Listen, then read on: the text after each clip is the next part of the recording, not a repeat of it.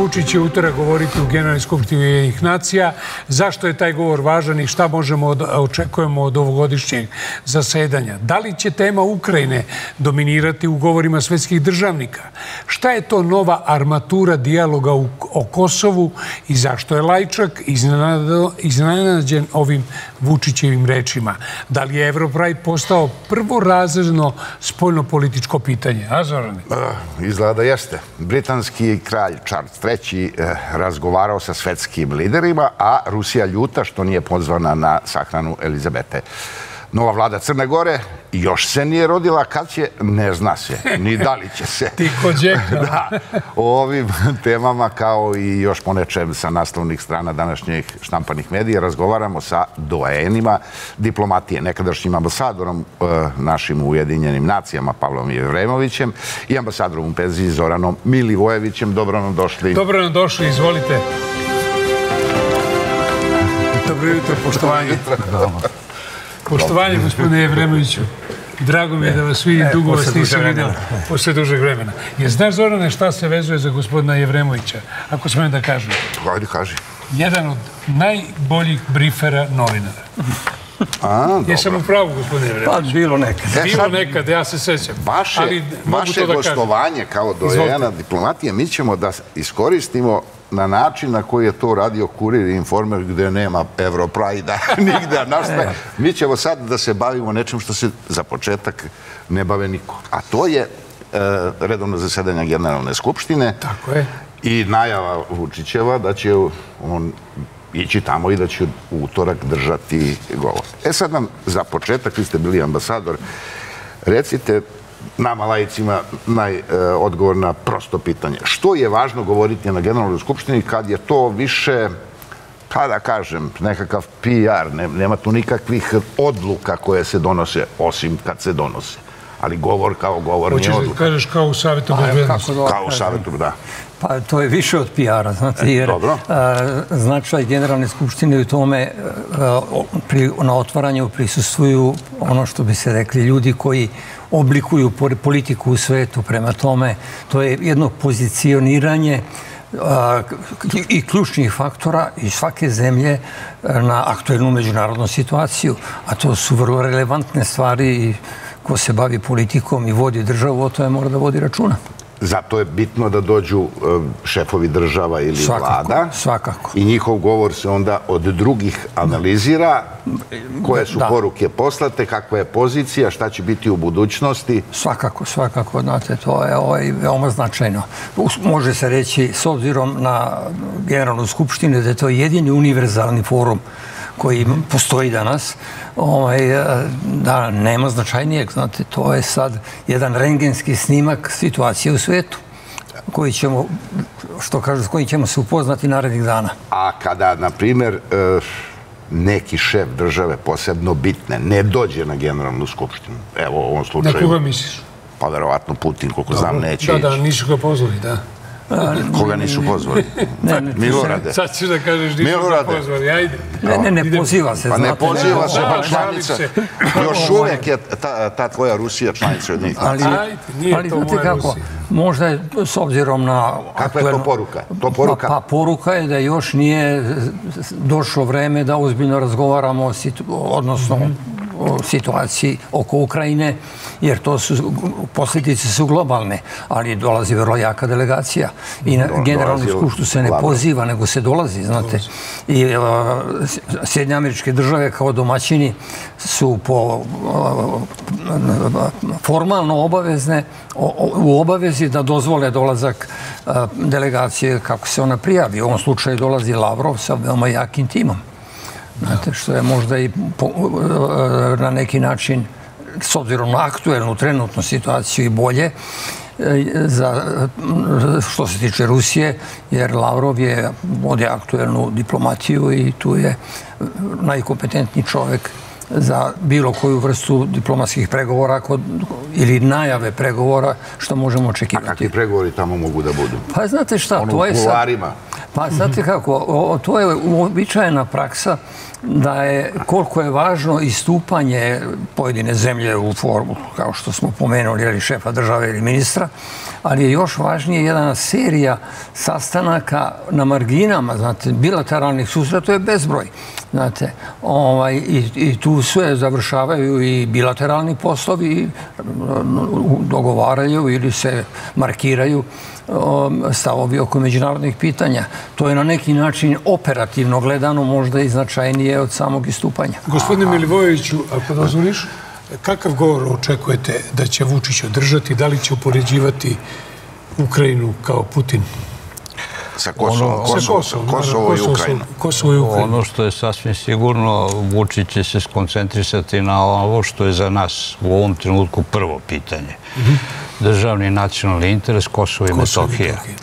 Ali ne sa te pozicije upoređivanja, nego sa pozicije naših argumenta u odvrni dakle, suvereniteta Srbije kad je reč o Kosovu. Ja mislim da će on eksplicitan biti u odbrani međunarodnog prava, rezolucije 1244, stava o suverenitetu i teritorijalnom integritetu Srbije. U tom kontekstu se može pomenuti Ukrajina. Obzirom da se na tome insistira u slučaju Ukrajine, onda u svakom slučaju i naši argumenti vezano za to. E, I mislim, ja bih hteo samo da dodam nešto, ovaj, ovo što je moj prijatelj Paja rekao, jeste, pa ja mogu tako da... Ste tako jeste. Ovaj, vidite, još uvek je važeći međunarodni poredak koji se zasniva na povelji Ujedinjenih nacija i na Ujedinjenim nacijama i zbog toga je ovo važno. To je prva stvar i drugo, generalni sekretar Ujedinjene nacije su direktno involvirane i u ukrajinsku krizu vezano za ova globalna pitanja hrane i tako dalje. Tako da je to prirodno da se tamo raspravi ta tema i ja mislim da će dominirati. Ne samo zbog Ukrajine kao Ukrajine, nego recimo, ajde da budem figurativ zbog Samarkanda koga smo mhm, gledali, mhm. jer je definitivno svet podeljen. I poruke koje smo čuli tamo, mi ćemo imati konfrontirana dva, u stvari, koncepta međunarodnih odnosa i borba za, ja bih rekao, dominaciju jednog ili drugog. Dakle, e, bit će akcenat kad je reč o Ukrajini jedne strane na međunarodnom pravu, a druge strane na pravilima. Tako da, ne bude zabune. Ali kada se setim onog glasanja na početku u, u baš generalnoj skupštini, 141 e, zemlja je osudila agresiju Rusije na Ukrajinu i u toj rezoluciji se traži njeno povlačenje na vojske, a pet nije osudilo, odnosno pet je glasalo protiv. Da li to možemo da očekujemo sličan, ajde da kažem, odnos i tokom istupanja na generalnoj skupštini koje počinje valjda prek sutra. Da, da, prvi, prvi utorak u, u septembru. Ovaj, vidite kako, ovaj, mislim da se u, u prvoj fazi, kad se radilo o jednoj vojnoj akciji, koja je prilično iznenadila svet, E sad, to je, da li je mogla Rusija drugačije da reaguje, to je političko pitanje za analitičare i istoričare. Ali umeđu vremenu su se stvari iskristalisale, što je kolega Milivojević rekao, radi se o prekompoziciji uticaja u svetu. Znate. Ovaj, I tu je onda svaka zemlja mora pažljivo da odmeri šta su njeni interesi. Na kojoj će strani da bude bar na rečima, jel na to mislite? Pa ja mislim da do glasanja verovatno ako dođe, bit će sigurno daleko veći, veoma mnogo zavisi kako Glasanje oko čega? Oko pa recimo, neke rezolucije? Ako, ako se pokrene inicijativa za nekaj dokument, rezolucija o stanju u Ukrajini, ona mora biti drugačije formulisana, jer više nije u pitanju akt agresije pa da se ne zaustavi, nego jedan oružani sukob sa globalnim posljedicama. A tu su ozbiljnije stvari i ta rezolucija mora biti drugačije formulisanja. Od one, od one na početku Od one početne koja je bila da ili ne, znate. Tako da će to, da je mnogo veći prostor za izjašnjavanje zemalja u zaštiti, promociji svojih, projektovanju svojih interesa. Tako da će sigurno biti drugačiji odnos snaga. A Vučić je rekao da će da on očekuje da faktički Ukrajina dominira u govoru svih u debatama. Jel i vi to očekujete? Pa bit će sasvim sigurno, zato što je to forum koji raspravlja o ratu i miru. U aktualnom stanju međunarodnih odnosa, kako je gospodin ambasador to i rekao na početku, prema tome sasvim je prirodno da dominira. A ovo jeste, ja bih rekao, i uzrok i posljedica mira u svetu u ovom trenutku. Šta god ko mislio. E, apropo ovoga što ste malo prepitali, ono prvo glasanje ide u korist aktuelnog međunarodnog poredka. Jer potvrđuje principe međunarodnog prava.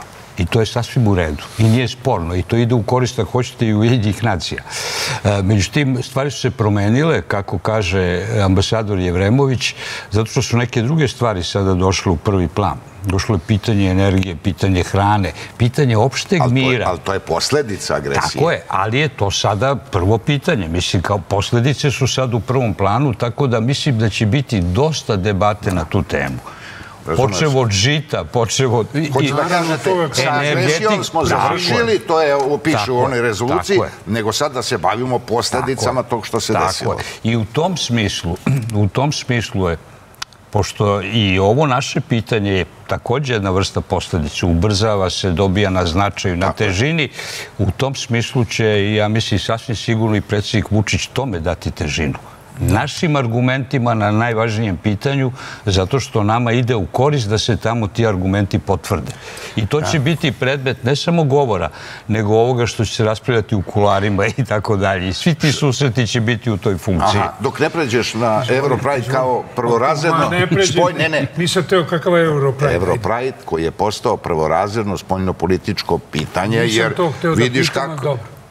Teo sam nešto drugo da pitam. Teo sam da pitam, pitaj, evo, samo da ja pitam uh, Jevremović. mi, ne znam, mi ne znamo ovaj, da će, na primjer, doći Zelenski ili ministar spoljnih poslova. Možda pa, će... Imamo, ovaj... Ali hoćete da kažete, na primjer, moguće je da se tamo sretne Lavrov sa jednim od te dvojice. Tako je. Teoretski je moguće, ne znamo da će se to desiti. Pa, teoretski je moguće svakako, ali zato ako, ako je već postoji politička potreba za ti mene su morali putuju u New York. Ovaj, ali vidite, ovaj, e, učinjen je jedan presedan u pogledu Zelenskog, upravo najnovija vest da mu je omogućeno da se video linkom obra, obrati generalnoj skupštini. Ando, nisam, to, nisam, nije običajno, to, to nije običajno, znate. Ali nije ova situacija nije običajna. Ovaj, e, pa, pa svakako. Ovaj, I tu glasanje, jer je i to bio, treba generalna skupština da odluči, daleko e, nešto veći broj je bio protiv, koji je direktnije podržava Rusiju, a ovi drugi su se saglasili. Jedan presedan, e, ja lično mislim da to dobro jeste političko pitanje, ali treba iskoristiti svaki kanal koji vodi kakvom takvom dijalogu u ovom vrlo kritičnom vremenu. Htio sam da pitan gospodina Milivojevića, kako ste shvatili reči predsjednika Vučića o takozvanoj novoj armaturi, kad je reč o Kosovu, u odnosu na onu do sada su staru armaturu? Kako da je šta god to znači. ne, ne, i, kako je, kako... i Lajčekovo začuđenost da. tim Da, Lajčekovo začuđenost tom konstatacijom ili formulacijom. Pa mislim, sama reč armatura vas navodi na zaključak da, se radi o sadržaju. dakle, ja ne mislim da je nova armatura pokušaj da se stvar ubrza. Dobro. To je jedna od posljedičnih stvari ovog globalnog o čemu smo pričali ali bojim se da se radi o sadržaju u tom smislu da se odmah ide na takozvani pravno obavezujući sporazum, na sporazum o normalizaciji. Dakle, ne ono korak po korak, pri čemu, pri čemu uh, mora da se raspravi pitanje zajednice srpskih opština. To je, stav... to je važno vrlo uh, to je, to, je, to jeste novina u, u tom smislu da se stavi na sto. Da. Do sada je ona uvek potezana kao pitanje. Mislim da je to stav Srbije i mislim da je na zapadu shvaćeno da ne, ne može da bude napred kako to pitanje ne bude na dnevnom redu. Druga je stvar kako, kako ga ko vidi, jer postoje različiti stavovi. Vidjeli ste ovaj svoje vremeno iz izjave Skobara da oni to vide kao unutrašnje pitanje nezavisnog Kosova, a mi to ne gledamo tako, mi to gledamo kao prethodno pitanje za razgovor o normalizaciji. Dakle, da se ceo briselski sporazum implementira, uključujući i to, a onda razgovaramo o normalizaciji. Statusno pitanje što se nas tiče na kraju, a što se njih tiče sada ulazi u prvi plan. E, to je nova armatura, tako ja vidim. Da. A, pa ima nekih nagoveštaja, čini mi se, nekih savjetnika e, Kurtijevih iz Prištine, da Lajčak, valjda sa ovim specijalnim izaslanecima Pariza, da, Berlina, je priprema nekakav dokument u 15 tačaka koji je, pa, zovemo ga, nacrt tog ili elementi tog što ja ne bih... ugovora sporazuma o normalizaciji odnosa. Pa znate, o tome se vrlo malo zna, čak je teško i nagađati. Znate, jer malo je, Kurti i za mene lično je malo prilična nepoznanica. To je nova generacija političara koja dolazi na Kosovo, znate. Oni se veoma razlikuju i u, neku, i u pozitivnom, rekao bih, i u nepovoljnom smislu. Tako da Lajčak kao veš pregovarač i koji je već se bavi Kosovom, može se reći par decenija, kad je kriza zaoštrena, od kada je zaoštrena, mislim da pokušava da stavi e, da formalizuje ovo što kolega Milivojević pomenuo, neki operativni dogovor za normalizaciju, da tako kažem, privrednog i društvenog i svakodnevnog života što se tiče stanovništva Kosova, znate, to je već odavno trebalo učiniti. Pa, očigledno da je jedna od posljedica ruske agresije ubrzanje svih procesa uh, koji, koji postoje nerešenih problema i tako dalje. No da pitamo bre za taj tvoj Europride. Vidite, izvinjam Nemoj mi prišivati atributi. Zašto bi bio moja Europride? Pa stalno kažeš... Pa i tvoje Europride. Moj jeste, moj jeste. Izvinjam se. Izvinjam se. Ali mi tako volimo da razgovaramo. Tako mi dozvolite rečenicu. Da opustimo malo atmosferu. Mi smo vidjeli evo i danas izjavu Varhelje, dakle komesara za proširenje i susedsku politiku, gde kaže da je Zapadni Balkan apsolutni prioritet. Prema tome, to je potvrda ovoga što ste vi malo pre zaključili. Da je sve, da su procesi, sa, razni procesi na razne teme u svetu ubrzani. Ali činjenica da oko, mi stvarno imamo danas možda istorijski dan, a nadamo se običan dan, kao i svaki drugi, osim što će uh, boli, boli, boli Formule 1 da, proći daj, prvi put. Daj, da uđu u istoriju, čovječe. Ovaj, ali činjenica da oko Europrajda uh, postoji prilična, kako da kažem, živa diplomatska aktivnost, da ja sad se izrazim diplomatski. Ja bih rekao, ja bih rekao jedno neočekivano mešanje e, stranih ambasadora. Dobro. Tu je pre svega, mislim, na američkog, na švedskog ambasadora, na francuskog ambasadora. Kako vi to tumačite? Pa, znate kako, tako se namestilo, što bi se rekli, znate. Ovaj, Europride je u našim lokalnim političkim prilikama postala jedna ozbiljna kontroverza sad. Markirane su pozicije, dosta su se, mislim, ukopane, ovaj, a sve se prelama eh, i Europride se posmatra, barem s polja, kao neki barometar naše E, istinske rešenosti za ulazak u Evropsku uniju i tako dalje. Prema tome, ne radi se o Evroprajdu kao takvom, znate, nego, nego o tom jednom barometru političkog sta, raspoloženja i...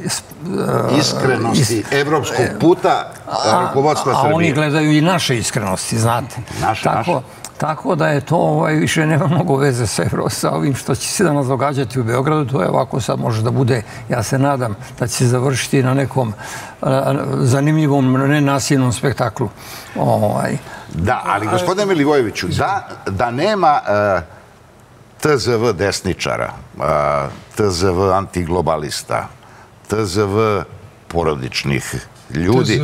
TZV litijaša. Litija, ne, ne, to nije TZV. Dakle, litijaša. E, bravo. Da nema njih, da li bi ovo postalo spojno-političko pitanje? Da li ipak ovo postaje tema osim ovoga što je rekao gospodin Jevremović i zbog toga što je jasno da... Sad ćeš opet nešto da asociraš za Moskvu. Da a, spojni faktor i tekako preti nasiljem na ulicama, a to nisu ovi koji organizuju Pride, nego oni koji se bune protiv, kao bune protiv toga. Pošto im nije naređeno da se bune protiv formule. Inače bi se bunili oni protiv formule kad bi dobili naređenje. Ja, ja prvo hoću da kažem da i tu ima ukrajinske senke u ovom Dobro. trenutku. To je potpuno nesporno.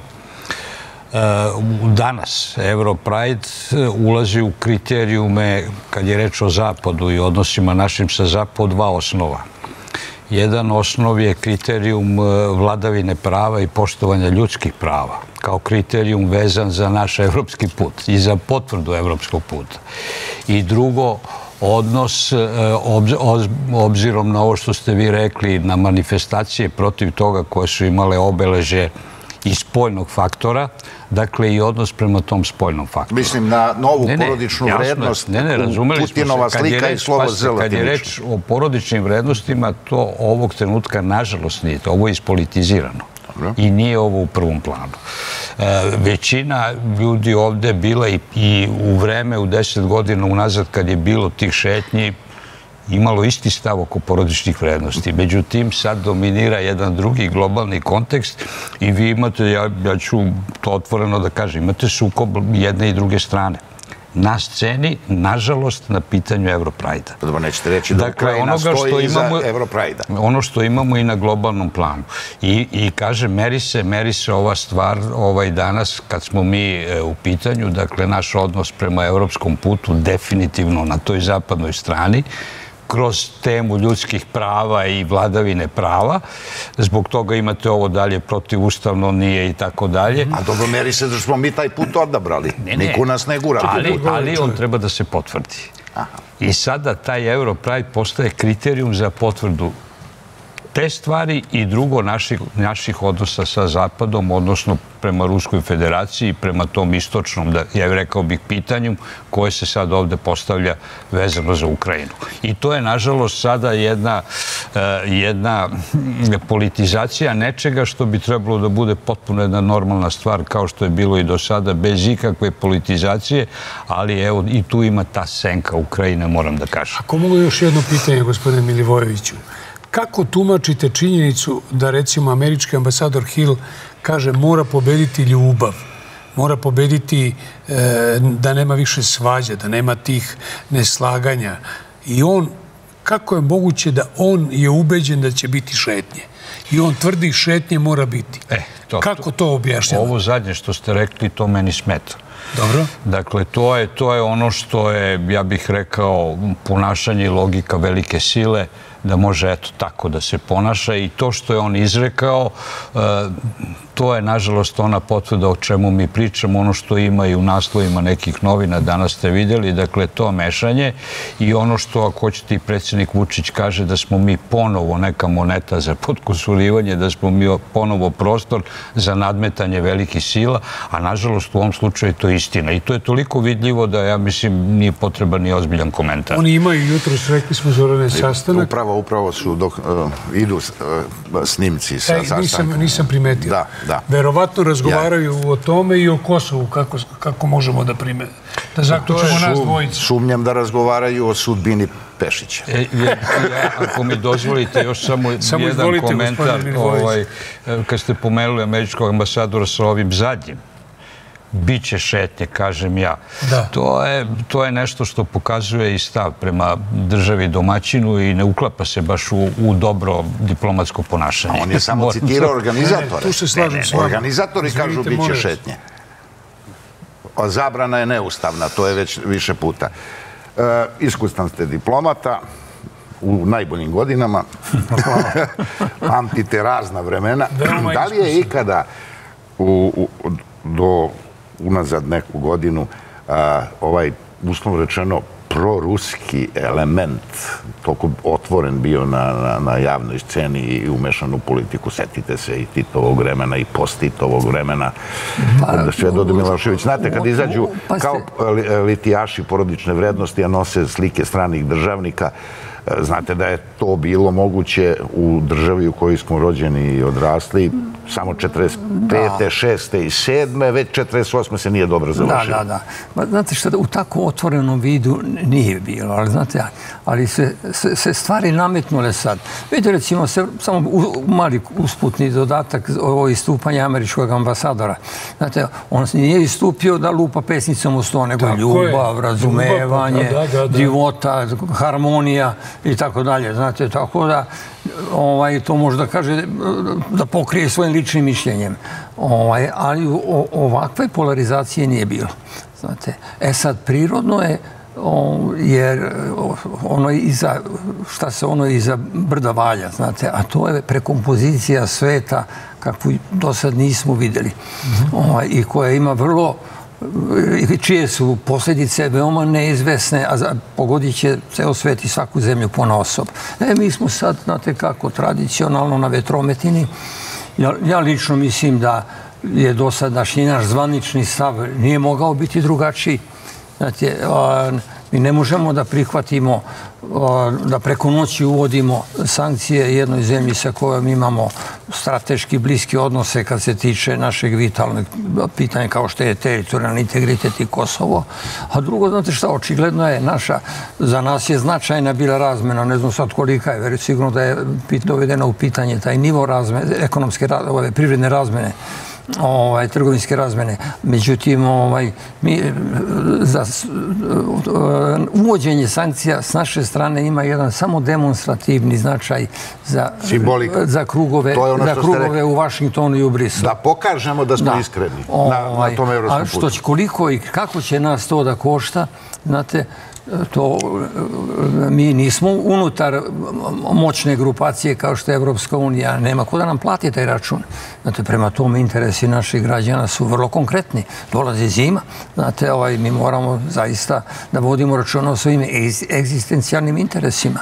A kako će sad dalje da se to razvija, to ćemo vidjeti. Znate, ovaj, ja moram reći, sukob u Ukrajini, e, on će sigurno dominirati generalnom skupštinom. Znate, recimo vidim neobičan predlog e, meksičkog predsjednika da se e, iznaće ga na generalnu skupštinu, da se svi dogovore da za tri mjeseca prestanu neprijateljstva da se malo smire duhovi. To nije realno, znate. Ovaj, ali, ali, ali, bilo bi dobro da je tako. Ali govori o zabrinetosti. Pa ako mene lično pitate, sam sukob između Rusije i Ukrajine, izostavimo međunarodni kontekst, je krajnje tragičan i besmislen. Znate, ovaj, ali šta se iza toga i kako je do njega došlo, to su vrlo ozbiljne stvari. Znate, Putin danas upozorava da oni koji su mislili da će da će im uspeti dezintegracija Rusije, to je ne priča na pamet. E, čak i drugačije rekao, više je to kao pretnja. Da. oni, e, Zapad neće dočekati da vidi raspad pa. Rusije. Nemoj da tumačiš ambasadora. Ne, ne, ne, mislim, ne, ne, citiram u redu je, nego ovo, ovo, ljudi moji. Ali to je isto. ne, ne, on je alergičan, čim čuje Putina, da, da, ne, sve u redu. Znači, rekao je Putin, Zapad neće dočekati da vidi raspad Rusije. U prevodu, moguće je da se desi raspad Rusije. Ali pre toga će se desiti nešto drugo. Ne daj Bože, ću. Ili da neko želi da se desi. Gospodine Milivojević. Ne, kad uzmete genezu, znate, od Gorbačovljevog povlačenja iz istočne Nemačke, da na kraju smo, da NATO se prima kao na 120 koliko kilometara od Leningrada. Sankt Peterburga. Sad se prima kao posle agresije. Finska nije pa bilo u NATO. Ne, da, ali sve je bilo malo po malo znate. Ovaj, I sad recimo da odjedare Finska i e, Švedska napuštaju svoju poziciju, po, po, utemeljenu poziciju Nije neutralnosti. Znate, Nije odjedare. Pa to je očigledno se sazrevalo, a ako neko misli ozbiljno u današnjim prilikama recimo da će neka od Balti, ovih baltičkih država koje prednjače u toj jednoj konfrontaciji sa Rusijom i dobrim delom vuku Evropsku uniju na tu stranu ovaj, da će Rusija izvršiti agresiju na zemlje NATO-a, pa to je besmislica. Ovo je treći svjetski rat koji je... Samo i Milivojevića da pitamo oko ovoga, da što se tuku ovi u prekompoziciji sveta, kako, ali što preko nas? Aj, nek se oni, kako da kažem, Kako si to nek pitao završe. to što preko nas onako Pa da, znaš da je Vučić stalno dra- govorio, dra- ja bi da se, ja, ja bi da se zavuče pod kamen, ali Da. izgleda da nema tog kamena. A ne može zato što je vilju, pa zato što smo mi ostrvo u, u jednom okruženju koje nije sporno, kad je reč o interesu Zapadne alijanse. I mi to ostrvo treba da se reši. Znate, kad, kad, su, kad su ovakve situacije, kad je moguća konfrontacija globalnog karaktera, e, znate, u toj konfrontaciji sad e, svako markira svoju poziciju i zauzima prostor koji još nije zauzet i rešava pitanja koja nisu rešena. U funkciji njegovog interesa Zapadni Balkan je jedno od tog pitanja, odnosno samo dva pitanja. I Bosna i- zavisi, od, I zavisi od Srbije. Bosna i Kosovo. Dakle, i Bosna i Kosovo zavise od Srbije, a Srbija je neutralna. E, to je problem. Prema tome, to mora da se reši, jer ovi drugi su nesporni. Čak i u Bosni federacija je za ulazak u NATO. To nije sporno. Republika Srpska i država Srbija su neutralni, to ne odgovara u ovom trenutku interesima, treba to da se zaokruži i zato smo mi na dnevnom redu. Teo sam samo Da ne bude sporno, a u okruženju smo koje podrazumeva da smo u sferi interesa Zapada. Podrazumeva, ali nije završeno. Htio sam da vas pitam, e, eho Skupštine koje smo prisutovali, naše srpske, ovih dana i zahtev ove opozicije da Vučić uputi neko pismo Xi Jinpingu i Putinu, tako? I dobro govorim, ispravim, me, molim. Da, da. Šta mislite, šta mislite, da li je to realnost i da li će to zaista predsjednik uraditi? E, vidite, ima, ima dva rezultata ove skupštine. Ne govorimo o debati, debata je dru- drugo pitanje. Prvo, niko nije rekao da treba priznati nezavisnost Kosova. Dobro. Niko. I drugo, predlozi opozicije, ono što je recimo Borko Stefanović predložio da Skupština dobije veći prostor, onda drugo, da se upute pisma, Dobro? Vuk treće da se treće i ovo Vuka Jeremića stranke, da. da da ne bude sporna rezolucija 12.4 pa sve je to prihvaćeno. I to je nešto što je rezultat koji zaslužuje pažnju. Ja to moram da kažem. Eh, I, I moram još jednu činjenicu da kažem koja je bila vrlo interesantna. Istupanje recimo mađarske manjine, gospodina Balinta Pastora i istupanje bošnjačke manjine u drugom danu koji respektuju državu Srbiju kao svoju njen interes u ovoj priči. Eto, to su za mene ovako rezultati koji su nesporni i što je dobro. A sama debata odražava jednu, ja bih rekao, demokratsku, šta god ko mislio, e, stvari koje nisu bile u kontekstu glavne teme, bože moj. A ovo što je bilo glavna tema, jer opšti zaključak je da niko nije rekao treba priznati o, A mi nezavisnost. ipak Hvala. da vas da- iskoristimo kad, e, za spoljnopolitičke teme. O, o, nećemo Crnu Goru. Ne, dosta smo Ona govorili o nama. ni- Nije se ro- rodila vlada, a možda i neće da se Misliš, rodi. misliš na Britaniju? Mislim na, na smrt e, Tako je, na smrt Elizabete kraljice. I ajde da kažem, dolazak novog kralja, činjenica da smo prisustvovali nečem što je istorijski događaj. Tako je. To Da, tako. da. Ovaj, I sad, tu je bila neki dan vest da je već razgovarao sa svetskim, nekim svetskim liderima, e, kralj e, Charles. III. Da li je to na neki način bitan događaj kad bi u pitanju spoljna politika i odnosi u svetu ili je ipak to samo tradicija jer od kralja i kraljice i krune u Britaniji ne zavisi politika nego od izabrane vlade i Pa, parlamenta. kako, prevashodno to jeste veliki događaj za Ujedinjeno kraljevstvo, ove Commonwealth članice koliko one još postoje, znate. A postoje. a, Kanada, pa, Australija. Pa, ne, ali polako se osipa to, to članstvo, znate. Ovaj, niz zemalja koje imaju tradicionalne dobre veze sa a, Velikom Britanijom, recimo kao što je Indija, Ovaj, mislim da ova jedna manifestacija solidarnosti i zajedničkog, tako da kažem, emo, e, e, zajedničkih emocija zbog odlaska jedne zaista zanim, istorijski zanimljive ličnosti kao što je kraljica Elizabeta II bila, da je e, na neki način Mislim, događaj malo otrežnjujući, rekao bih. Znate, da li je ipak podsjeća na solidarnost sveta?